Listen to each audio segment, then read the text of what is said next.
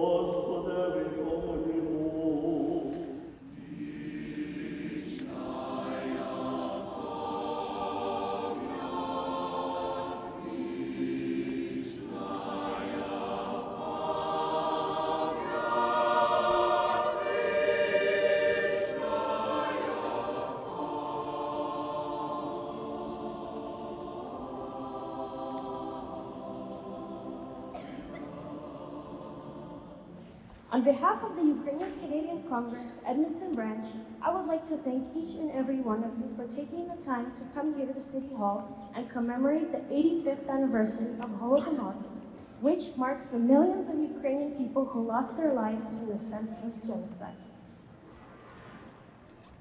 Багато трагедій пережив український народ, але страшнішого лиха, ніж голод 30-х років, історія України не знає. Голодомор 1932-33 років в Україні назавжди залишиться в пам'яті українців однією з найстрашніших сторінок нашого минулого. In 1932-33, in an attempt to silence the Ukrainian nation and quell its aspirations for independence, Stalin's totalitarian regime sentenced millions of Ukrainians to death by starvation. Despite the decades long efforts by communist authorities and attempts by other contemporary forces to disinform and erase from human memory the horrific experiences of the Holodomor, the world today knows the facts about this crime. Archival documents, scholarly research, and testimonies by survivors have contributed to recognition of the Holodomor as a genocide of the Ukrainian nation and the, to remembrance of the countless victims by governments and international institutions. It is important to note that the Edmonton Ukrainian community played a significant and leading role in uncovering the truth and re- recognizing Holodomor as an act of genocide against the Ukrainian people. Своїми думками поділився член парламенту від центрального Едмонтону, який серед іншого передав вітання від прем'єр-міністра Канади Джастіна Трюдо та міністра закордонних справ Христі Фріланд. Промова Ренді Босонов вразила глибиною розуміння і співпереживання. During that time, in 1932 and 1933, people were forced off their land, made to join collective farms that would feed the entire Soviet empire. And at the height of the famine, organized teams of police, driven by fear and propaganda, entered the homes of tens of thousands of peasants and stole everything edible from them. Ukraine was forcibly robbed of its food, amounting to death sentence for millions and leading to terrible loss of life, including so many children and young people. As you know, for decades, the Ukrainian famine was never officially recognized by the USSR, and all discussion of the tragic event, tragic event was actively repressed or altered in favor of the Soviet regime. More terribly, this tragedy was also kept silent from the world. Today, the story is different. Movies are being made about Holodomor. Books are being written, and the last living witnesses of the event are telling us their stories. The first city, the first community in the world to commemorate Holodomor is our very own Edmonton Ukrainian community some 35 years ago in 1983. As a descendant of Ukrainian immigrants myself, I too proudly participate in today's memorial. My Baba Tekla immigrated in 1913 with four children in tow from Lviv, Western Ukraine, and three more were born to her in Canada, including my father. We are gathered here today as a community to remember 85 years ago a horrific event inflicted upon the people of Ukraine. Today, on the fourth Saturday of November, Albertans join Holodomor survivors and all the people of Ukrainian heritage in remembrance as we commemorate the International Holodomor Memorial Day. By reflecting on this horrific legacy of tragedy, we help ensure that history never repeats itself. Let us honor the millions of Ukrainians who perished as a result of this event, and also honor the survivors. Descendants of those survivors are key to ensuring that those stories of this genocide continue to live on. They remind us of the importance of democratic freedom, human rights, and multicultural vibrancy. We're fortunate that some of the survivors and the descendants live in Alberta and have contributed greatly to our province's cultural, economic, political, and educational life.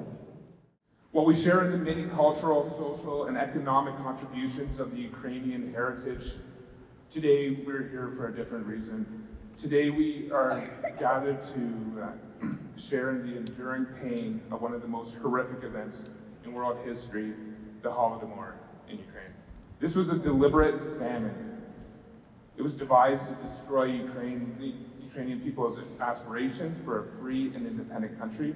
The famine has been called a silent massacre, and it's a trauma that has left a deep and lasting wound.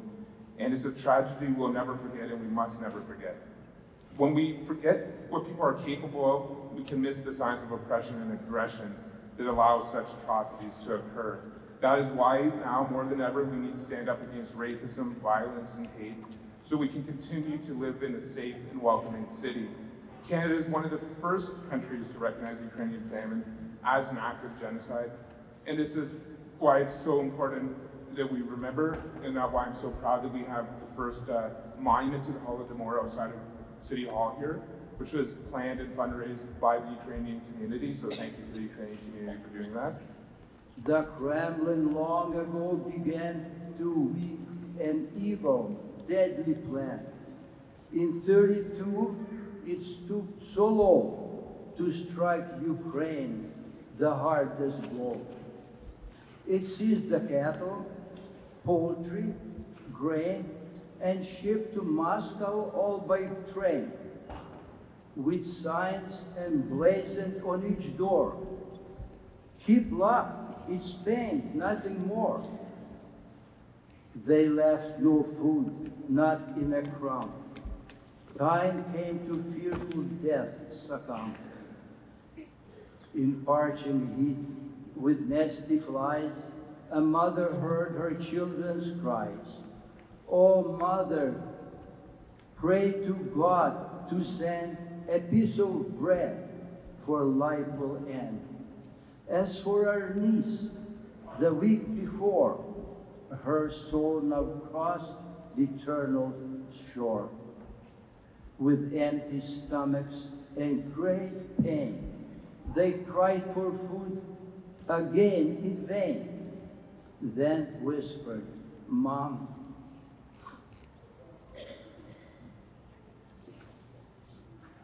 don't say goodbye. If you depart, we all will die. Their tender hearts were shocked by fears. Their sunken eyes were filled with tears, and then they saw this world no more. They also reached the eternal shore. The world must know, and we should say, the Kremlin took our food away, and millions of our people died. But Kremlin all those facts denied. And yet, since World War II went by, some countries still apologize. Though in Ukraine, 10 million died. In Russia, every eye is dry. In those insane and reckless times, our foe had caused appalling crimes and sent Ukraine through horrid hell. I lived through that and came to tell that you would know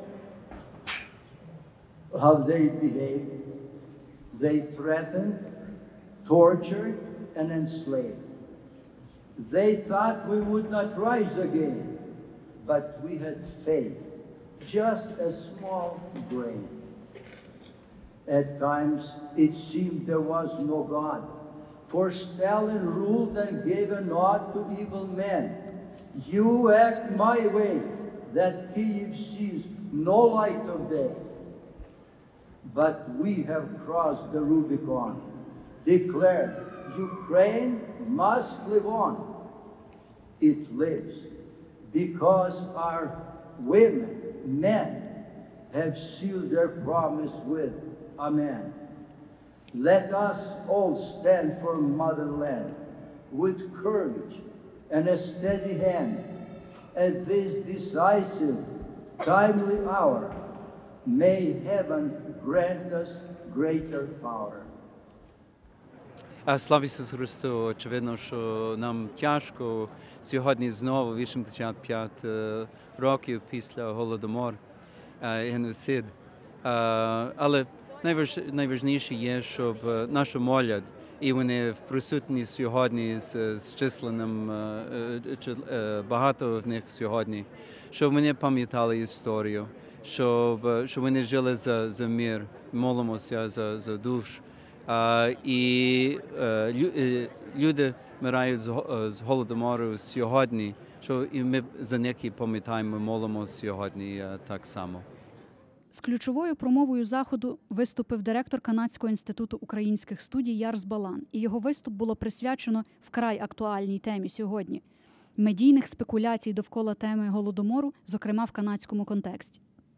I'm here to tell, today to tell you that Walter Duranty was not the only journalist who was guilty of aiding and abetting the Soviet government in covering up the cause and magnitude of the famine that was widely known to be ravaging Ukraine and the North Caucasus, region, heavily settled by Ukrainians.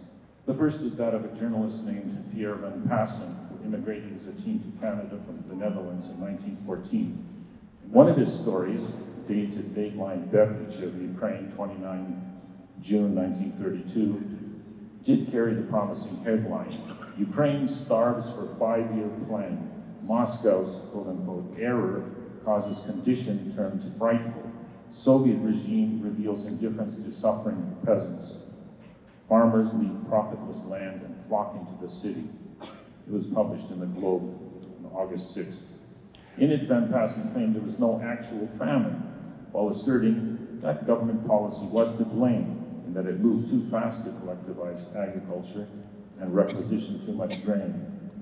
No mention was made of the role of the leadership in creating these, these disastrous conditions, nor did it show that the Kremlin knew exactly what it was doing in the war that it had openly declared against the peasantry in general, and especially the farmers of Ukraine. Then Paassen made a follow-up visit to the Soviet Union between early August and late October of 1933, producing dozens of additional articles about his experiences. A particular interest in the second series is an article datelined The Youth Collective Farm Ukraine and headlined Becomes Farmhand to Obtain True Facts About Famine in Russia, published in the Toronto Star on 14 October 1933 and in the Edmonton Bulletin two days later. In it, he makes absolutely no mention of the famine, but instead paints an upbeat picture of the situation on the collective farm where he spent a couple of days.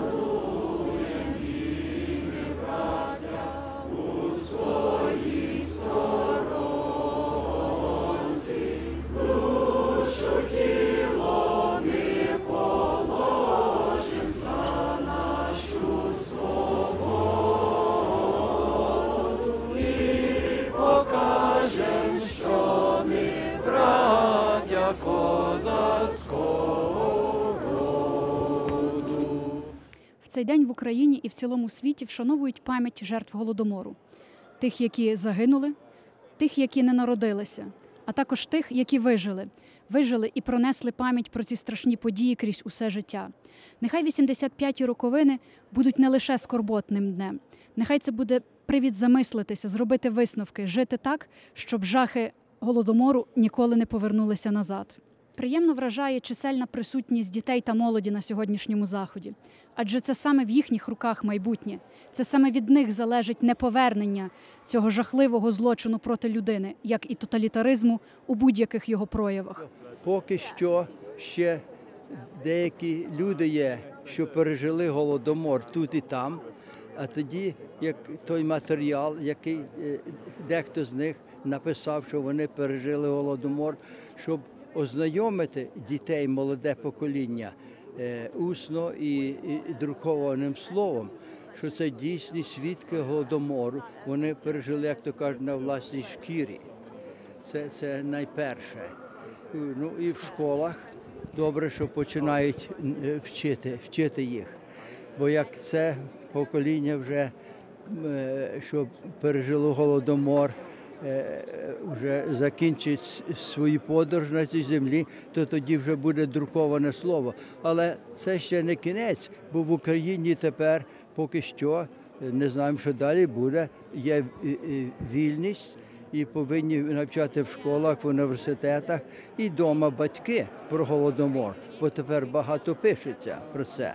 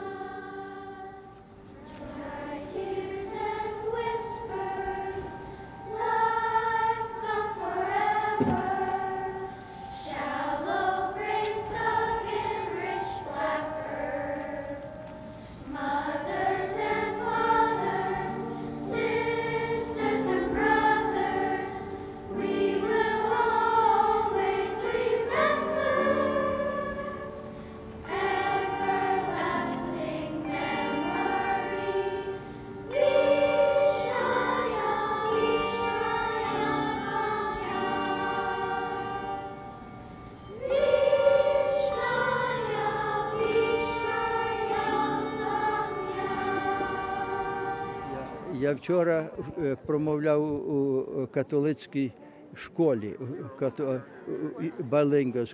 двомовна мова. То я їм говорив, що якось так Бог дав Путін і досі говорить, що голодомору не було, як інші говорили. А я народився перед голодом, пережив голодомор і ще живу. Я живий свідок. То як Путін може говорити, що такого не було? Його не було, але я був і ще є.